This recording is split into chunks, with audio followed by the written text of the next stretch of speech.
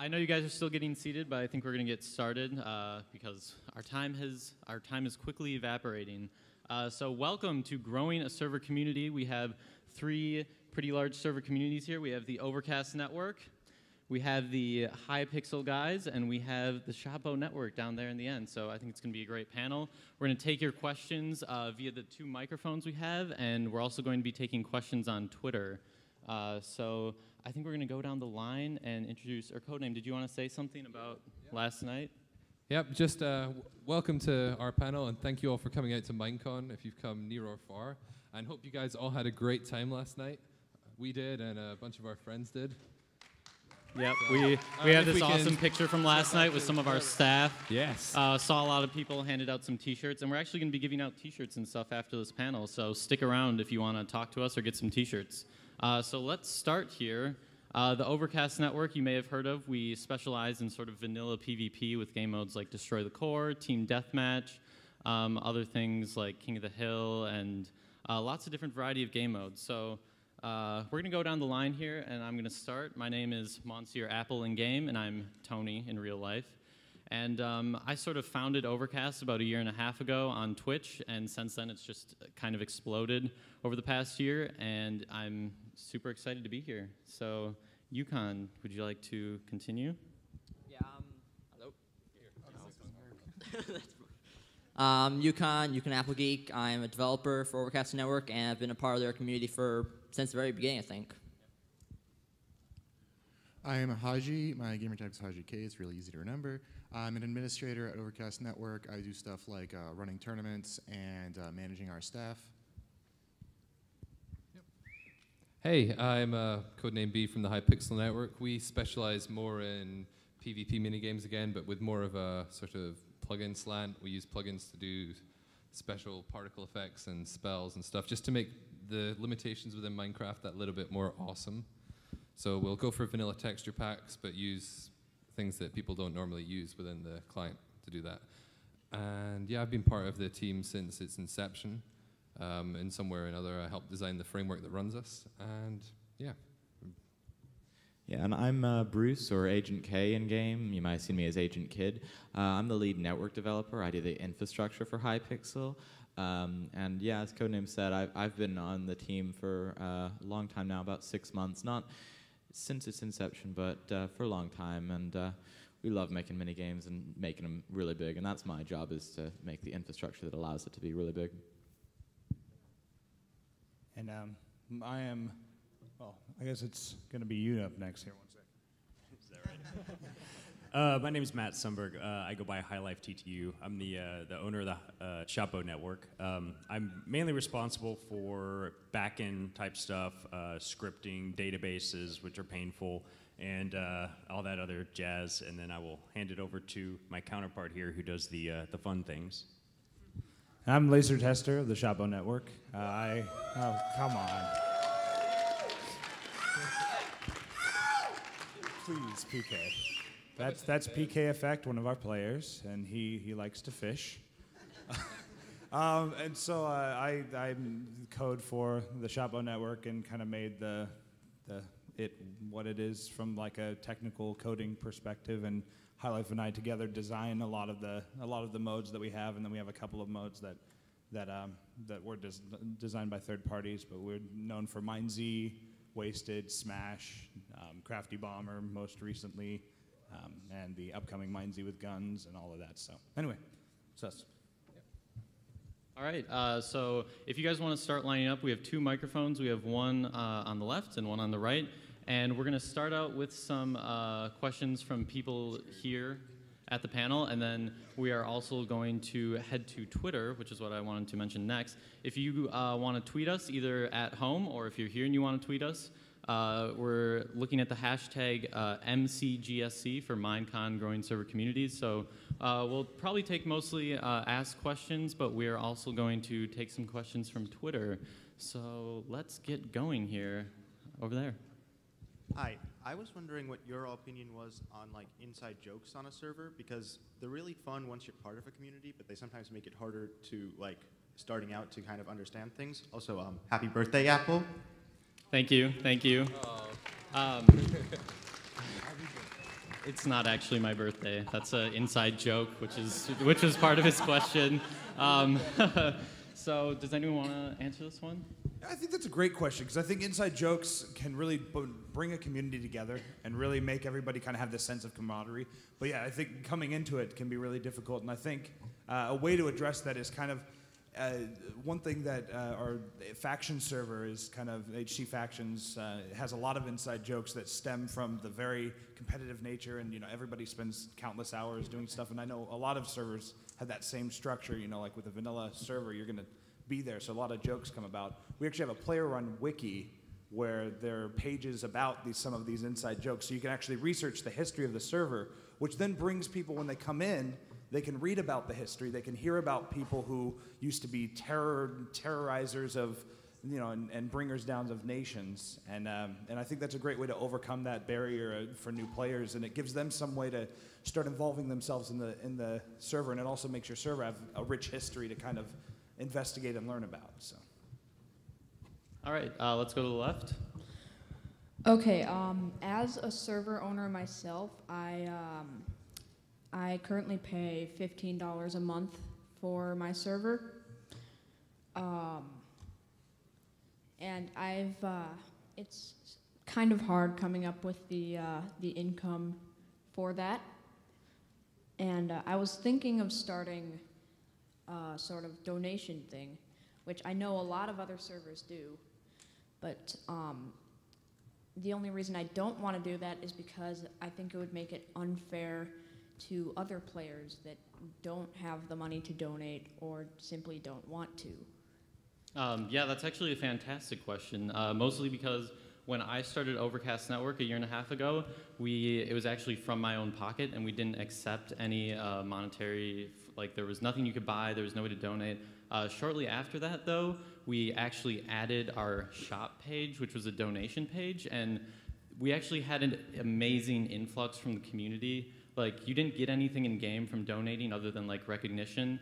Um, but we had an awesome influx from all the users that love to play on our server, and it helped us cover our costs like two times over. It was actually uh, really awesome to see the dedication that players will have to keep your server running because they love it so much. Hmm. Thank you. All right. Yes. Uh, can I? Is Lee kicking about here? It's not Lee Bycroft. If you're here, wave your hand. No. Never mind. Oh yeah, um, if you can go see Lee, he'll give you a month of free premium for Buycraft as well. Okay. For getting you started. Thanks.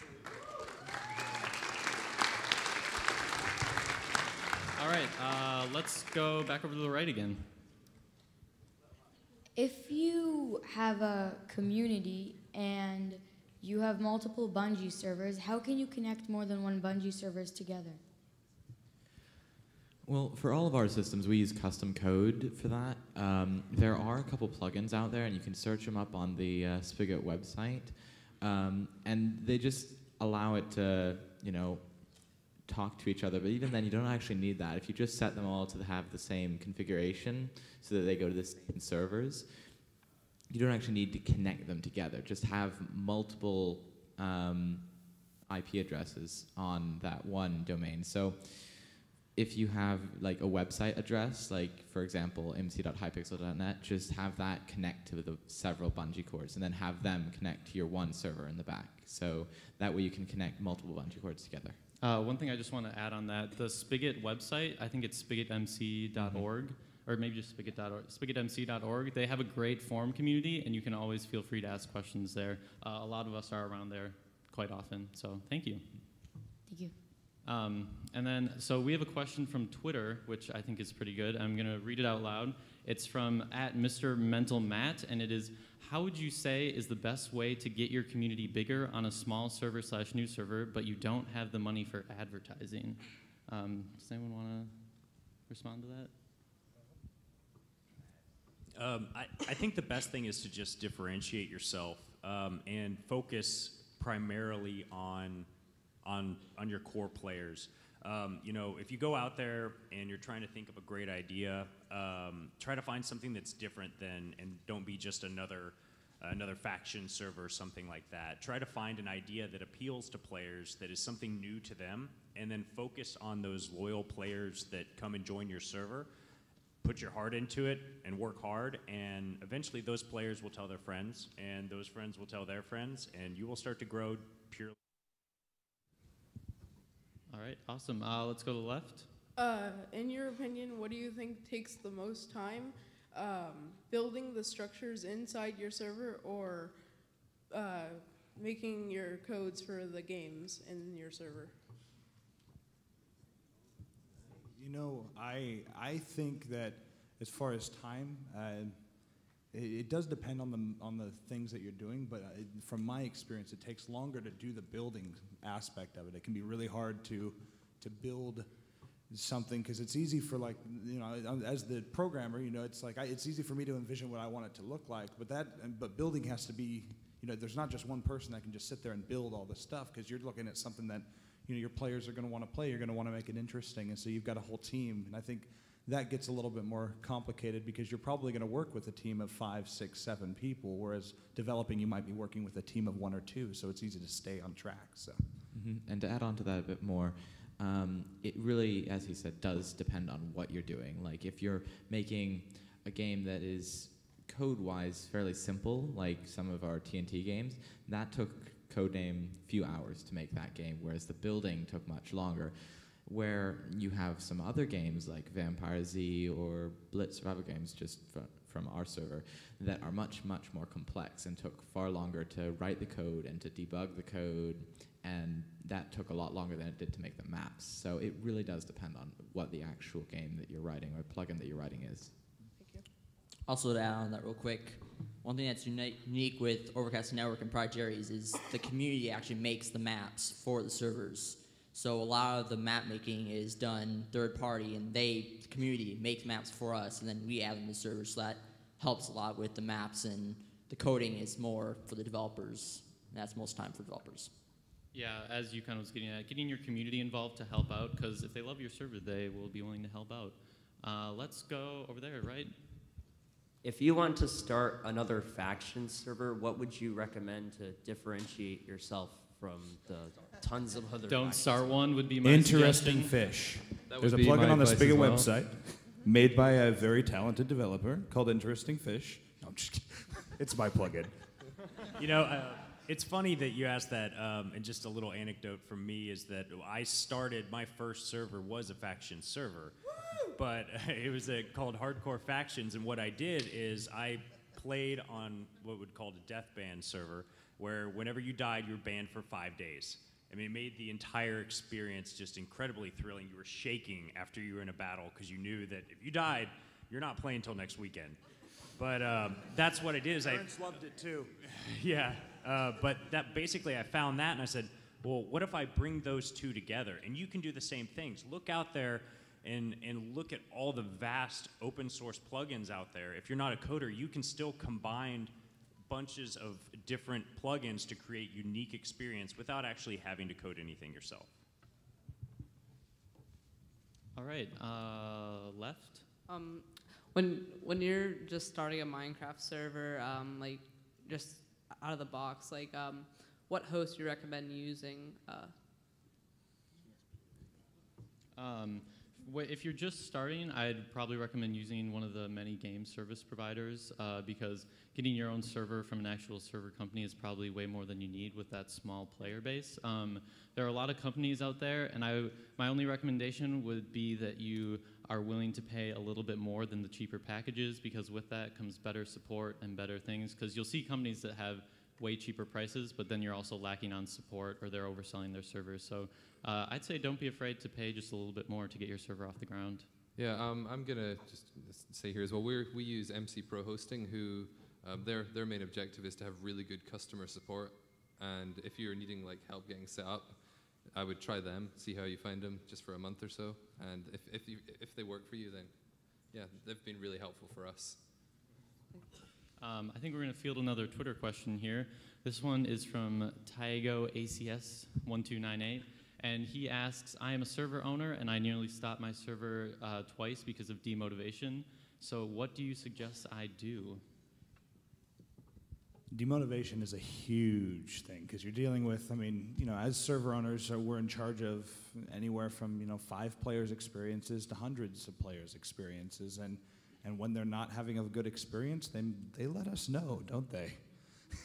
and, uh, and what I do personally to kind of get over demotivation is, is I, I step back and just kind of let the server run itself for a bit, you know, and even if, even if they get mad because of it, but I, I try not to make decisions when I'm feeling really down and demotivated because then I'm probably going to make the wrong decision.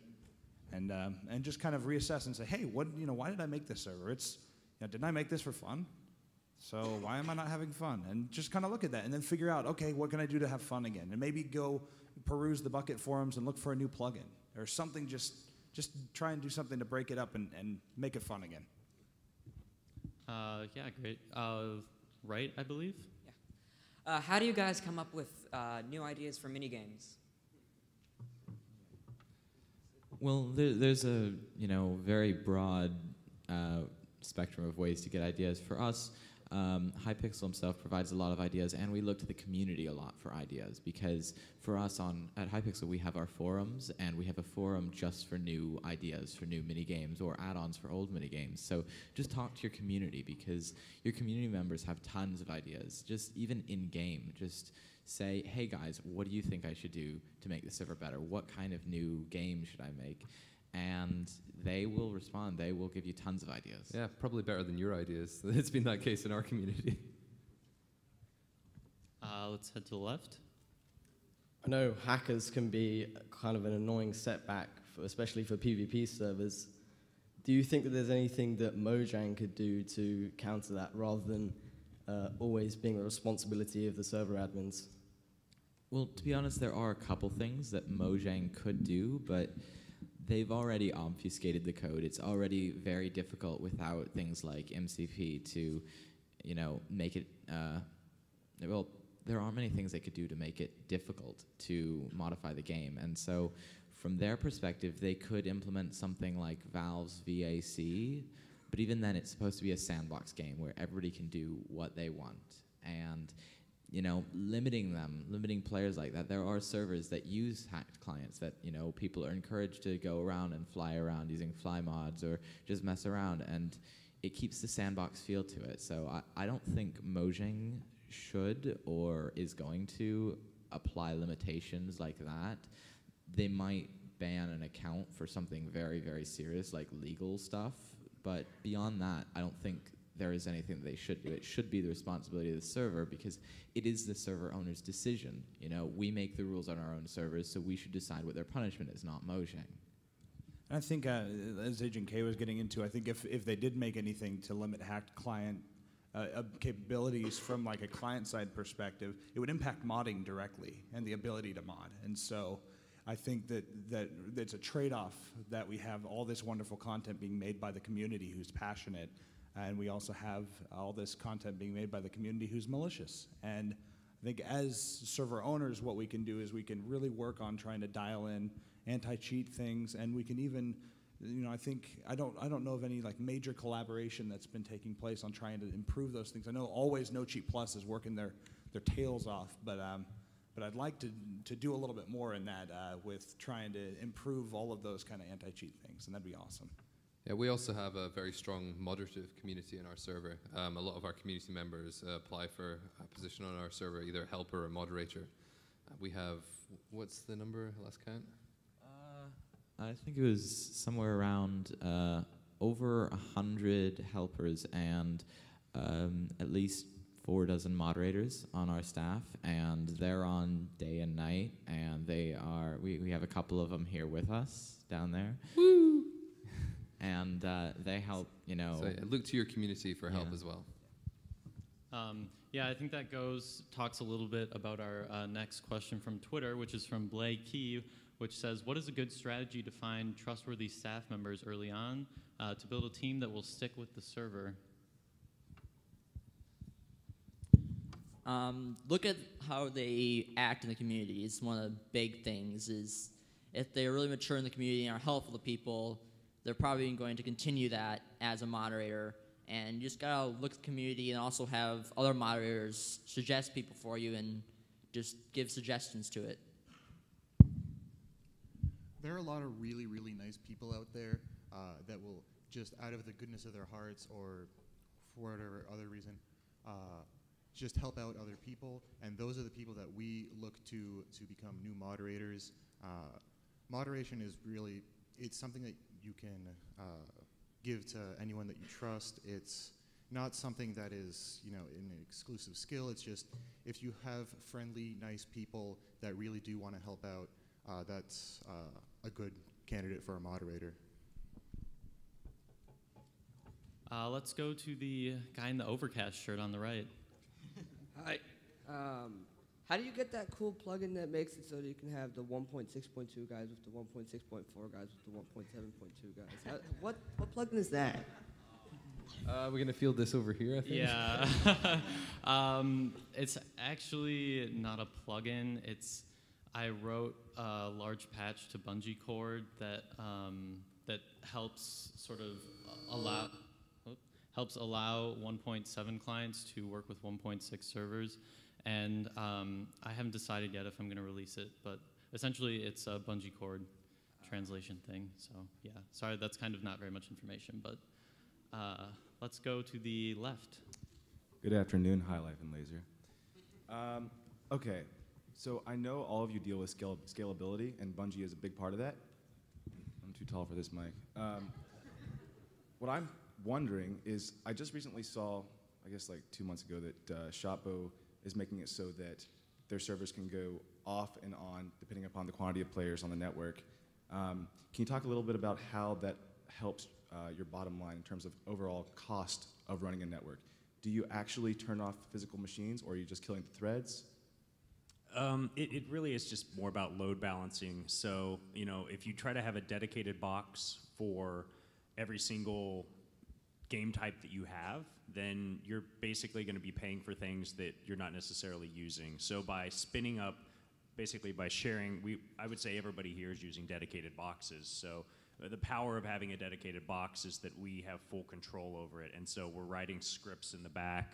Um, I'm sure all of our processes are probably fairly different, but also very similar in the fact that we have boxes sharing different game types and spooling those up as they're needed. And so if everybody's deciding to play one game type, you know, you're spooling up more of those servers versus uh, just having resources unused. And going back to your bottom line point, yes, it helps a lot uh, because one of the challenges as a big network is managing the huge amount of resources required to uh, to keep things running.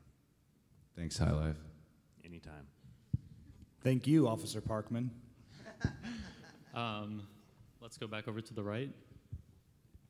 Hello. Um, Hi. I was wondering, um, me and my build team, uh, I have a, a group of friends that we uh, we're working on this uh, uh, a mini game for uh, Minecraft for players to play, and I was wondering, um, is there any way that uh, I could get one of you to even take a look, or like I don't know, like is there any way I can actually contact uh, a server and have them look at the Tweet work me we've it. done? Uh, Huh? you can tweet it to my Twitter, and I'll I, I reply to every tweet if it's you know a question or something. So um, it's Vlad to be here. That's V L A D to be here. Yeah, Alright. it's, it's, it's, it was funny at the time. And I, I, I guarantee that I, I- I'll take a look at that if, if you like, or if anyone else wants to volunteer Yeah, I there. mean, you can pop on our. We've got a Shotbow subreddit, Reddit uh, slash r Shotbow. Uh, you can just shoot shoot it over in a PM on there or on our forums. I mean, yeah, we're happy to always take a look. And you know, if you're just looking for a little bit of feedback, or if you're looking to like you need somebody to host it or something. I mean, yeah, we're we've got a few that we host that are made by other people, and we just and we're happy to talk with you about it and and give. And even if you just want me to be like, no, this is terrible, fix that. Like, I love doing that. Um, one thing I would add to that is just like in a general aspect, most of most all of our servers have either a subreddit or a forum, and I think we all have Twitters and stuff. So if you reach out to us, we're likely to respond. And if you don't hear back to us, it's probably because our servers are on fire or they're crashing or something.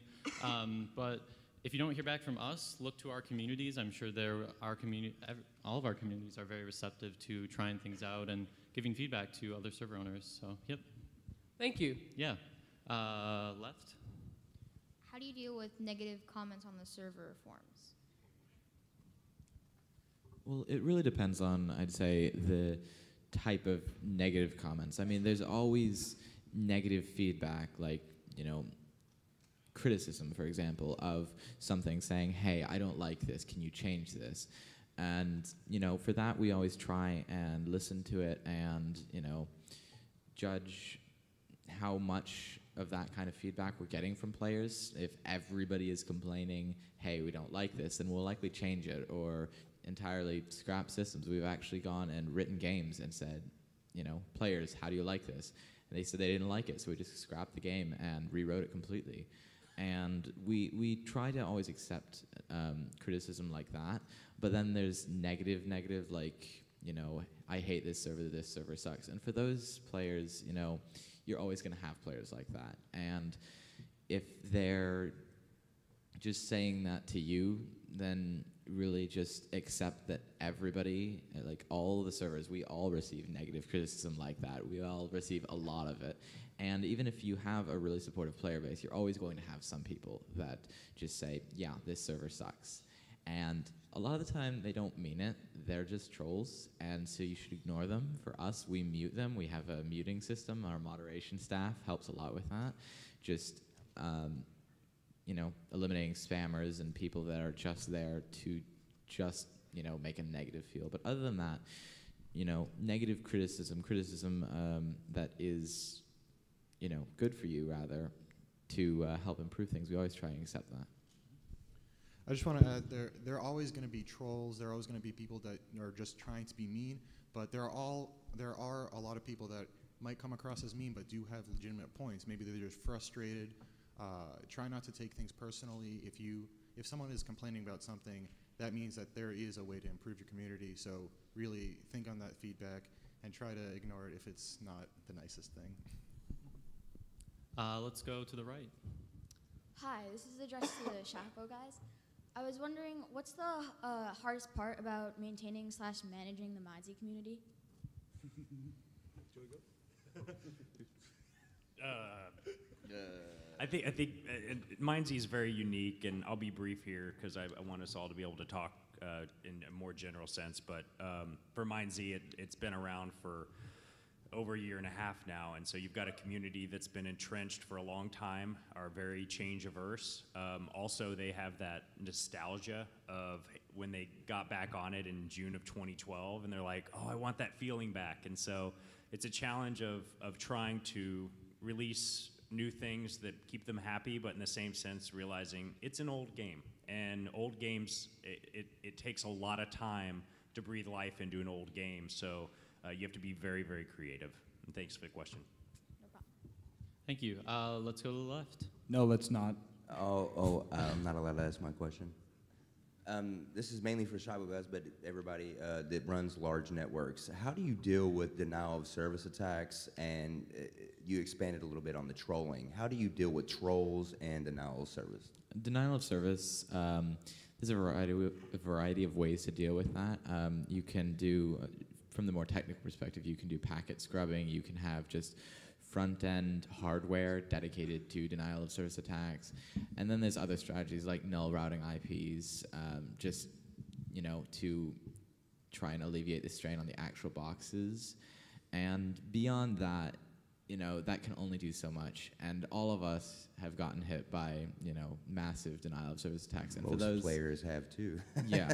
And for those, you know, you just have to batten down the hatches and, you know, just go and deal with it really. It's going to cause lag, it's going to cause downtime, but the DDoSer will get bored and they'll move on eventually.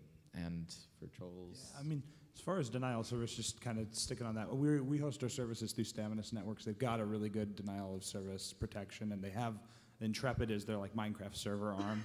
And so, I mean, if, if that is an issue that you that you're struggling with, you, it's serious enough that you want to address it, you can always look into uh, hosting your server with Intrepid, and, and that kind of, I mean, it doesn't negate it entirely. But trolls, I think we go back to the the same feedback. You know, if it's negative, you can judge whether it's malicious or whether it's constructive and go from there. If it's constructive, you know, l- reflect on it. If it's negative and just malicious, then just you know, delete it, mute them, and move on.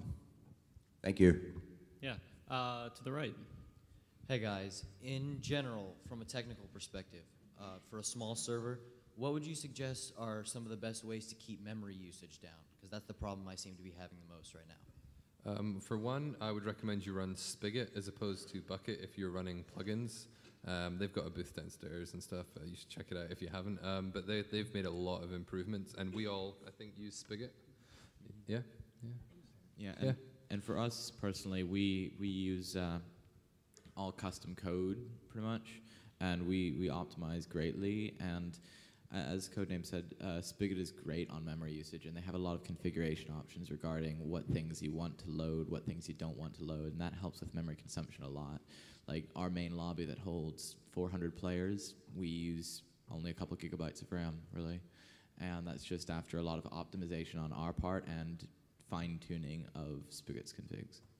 Um, and just to jump in very specifically on that, if you are a small server and you're seeing a lot of memory usage, that typically comes from entities. So you're looking at mobs and animals uh, as your, your big two things there. So um, get, get a plugin on there that will tell you how many entities you have, and you'll probably be pretty surprised. And with Spigot, you can go in there and fine tune those. So start lowering those limits. As long as you're not too aggressive, your players normally won't notice a huge difference, and it'll, it'll help greatly. Thank you, guys. Yeah, thank you. Uh, I think we're gonna head to Twitter again. Uh, this question is from Mikey X3000, and this uh, they asked, "How important is it for you that games should be fair for every player, even if one is a donator and another isn't?" Uh, anyone want to field this? I think that's vital for player experience because nobody wants to play against a player who just showed up that day and, and because they had five bucks in their pocket is going to be able to kill the other person with two strikes of their sword instead of three. And, and so it's, it's definitely a huge balance, and that kind of goes back to the very beginning about the covering server costs. I think there are there are places that are really aggressive about that, uh, like trying to get money from players, and it's and it's I think it's important to really assess your priorities when dealing with money because that's a real thing you've got to deal with if you're trying to grow your server, and just make sure that you know. My perspective on it is just always make sure you're coming from a good place. If you add something for purchase, and just like think, okay, well, you know, is this is this to make sure that we're running, or is this to just try and squeeze wallets? Because that's not. Uh, your players will figure it out pretty quickly. So anyway. Yeah, I mean, you can. Uh, what we do is we, we tend to, rather than giving them an advantage, we give them some cool stuff. So, like maybe some enchanted armor if it was a blitz game, some better starting kits, maybe some snowballs, you know, just something fun to make it a, the game a bit more interesting for a donator, but without making them extremely overpowered. And for, for our VIP rank, for example, a lot of what we give is cosmetic stuff. And it's things like green name in chat, the ability to shoot a firework in the lobby, um, the ability to join servers that are full that don't necessarily impact the actual gameplay. Um, and in the long run, you know, they get more coins, but right there and then, it's just two people against each other, and they're fairly balanced. And that's, you know, our biggest, um, you know, consumable, or not even consumable, because it's a lifetime purchase. And, you know, that's that's our way of keeping it fair, because right then and there, even if some somebody joins the server that day and buys VIP that day, they're not going to be any more powerful than other people. Um, were we on the left next? I think. Yep. Um, um, I have a l- very small homemade server. I don't use any hosting. I just turn com- spare computer into a little homemade server, and I can figure out how to put mods on it or plugins probably.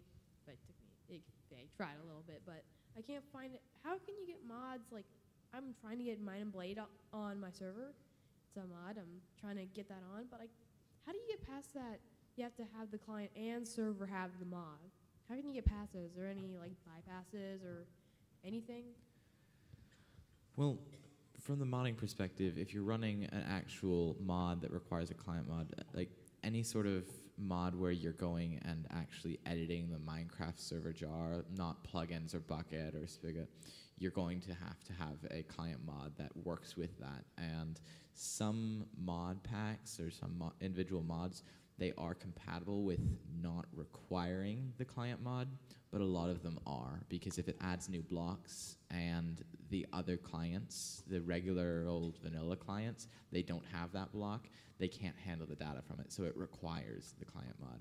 And to get around that, there isn't really too much of a way to get around that issue. Actually, that's one of the things that the modding API is going to help a, lo- a lot with when it finally comes out. And uh. And especially with Searge now on the team, that dude is awesome. So I'm excited for him and Grum to be working on that modding API. I think we are all extremely excited for you and for us uh, with the modding API because being able to control the client GUI and do all this stuff from an official like Mojang uh, standpoint is going to be awesome for both you and us. So uh, once that modding API, it's going to be awesome. Uh, so let's go to the right. Uh, I run a small survival server, and uh, I've been using Bukkit, but sounds I might go to Spigot now.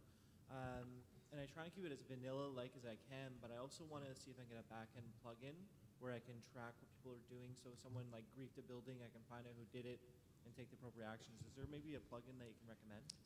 Um, I think that I would just recommend you check out the Bukkit forums because there's a huge variety of logging plugins. Uh, I know Logblock's one of them. There's just a ton of plugins that you can find on the Bukkit forums, or I think it's plugins.bukkit.org, and those actually they all work with Spigot. So, yep. Yeah, you'll need a database setup for that kind of level of volume of data, but um, you can either set that up on like one of your spare computers if you have one, um, or there's v- very affordable thing options out there. So, Uh, yeah. I uh, host on um, Pro Hosting, Minecraft Okay. Pro Hosting, Mm-hmm. Mhm. so I think they have a MySQL with it. So. Yep, so yeah, you're that sorted come then. with it. You just have to look on their forums, or not their forums, but their support website. It has instructions on how to set up stuff with MySQL right there. Uh, to the left. Um, when dealing with donations, is it better to use um, monthly or like unlimited days? And if it's monthly, what would be a good price for um, an unlimited one? Um, I, That- can, I can go for this. I think really it depends on how much you have to offer with each of your individual ranks. Uh, to is how you get a price point set because if you're offering like thirty dollars for like a star or something, you know, obviously that's not going to have value. But if you have a lot of offers for a package, you can sort of base your price point on how much you are going to give the user in return. Did that fully answer it? All right, let's go to the right. Hi, I've been uh, coding since 81. I've been in the uh, professional software industry for 25. I've been doing games for 12 uh, professionally. I think this is an amazing meta community here. Um, I've never seen so many young entrepreneurs, coders, designers, etc. Um, I'm mostly interested in what is your outlook on this community? Where is this going? I actually got into it. I, I've been a developer for a few years, and I actually got into it because I kind of started losing my steam working for the man, and and just kind of like, I need I need something to reignite that passion that got me into coding in the first place, and so. And so I was like, oh, Minecraft, that's cool, and started writing mods for it. And, and I've been just blown away because I only showed up on the scene like a year and a half ago.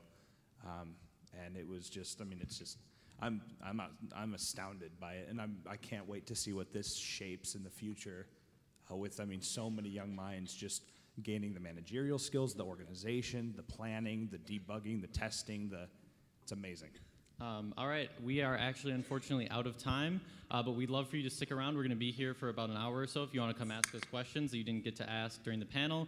We have free T-shirts. I know Hypixel has some free stuff. Uh, so come on up, ask us questions. Well, Thank not you up. for We got to go out. Out. We got Minecraft Oh. next. Oh, we're going outside. So we got to to get out of here. Get us outside. We'll so yeah, head outside. outside. We love you all. Thank you for coming. So yeah, head outside. We love you all. Thank you for coming. So yeah, head Thank you outside. so much. Thank you for coming. So yeah, head Thank you outside. so Love you much. all. Thank you for coming.